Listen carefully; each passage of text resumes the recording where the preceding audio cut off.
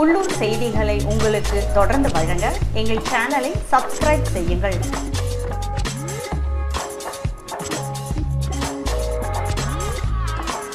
மின் வாரிய ஓய்வு பெற்றோர் சங்கத்தின் பதினேழாவது ஆண்டு விழா நடைபெற்றது.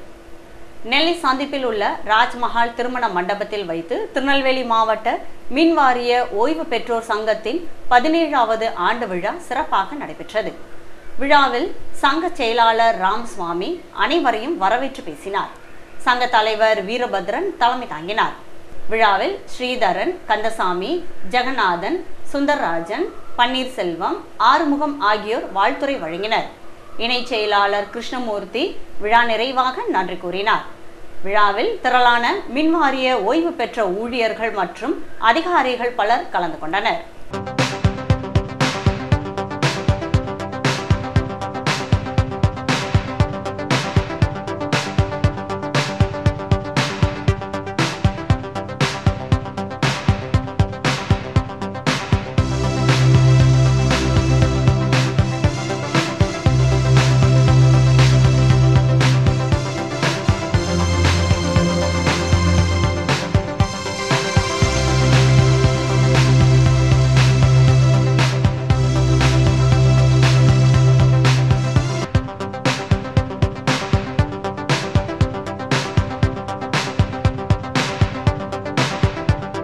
ராமசாமி செயலாளர் திருநெல்வேலி மாவட்ட மின்வாரிய ஓய்வு பெற்றோர் சங்கம்.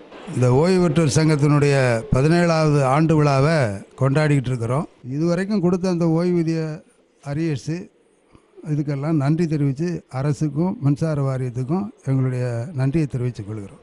சம்பந்தமாக இன்றைக்கி ஆண்டு விழா நடத்துகிறோம் அரசுக்கு செய்த உதவிக்கு நன்றி தெரிவிக்கிறோம்.